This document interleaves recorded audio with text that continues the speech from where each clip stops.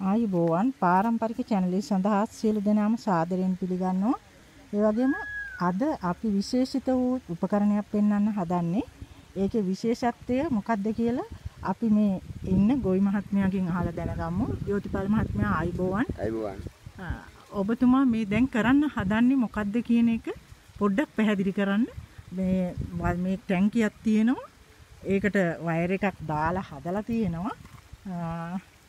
ඒ wire එක දිගට හදලා ලී එකක් තව බැඳලා තියෙනවා. එතකොට ඔබතුමා මේක පොඩ්ඩක් පැහැදිලි කරන්නකො මොකද්ද මේ උපකරණය? මේකෙන් කරන්නේ මොකද්ද? මේ නියර මේ කුඹුර එරෙනවා. ඔව්. එරෙන කුඹුර වල යන්න බෑ නියර මේ නැත්තම් කෙල්ලකට. ඔව්.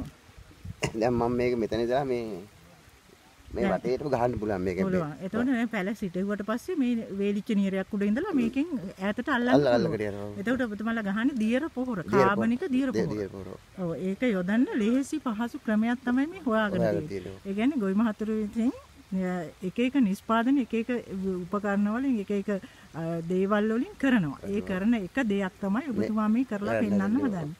එතකොට මේ මට පොඩ්ඩක් ඔබතුමා ඕක මේ පොඩ්ඩක් ඔව් ගහලා පෙන්වන්න බලන්න. මොන දැන් මැෂින් එක ඔපරේට් කරා. තවාන පැත්තට අල්ලමුකෝ බලන්න නේද? ආ, ලස්සනට ඒක මේ ඔය විදිහට ඈතට වීදිලා යන විදිහට අල්ලන්න පුළුවන්.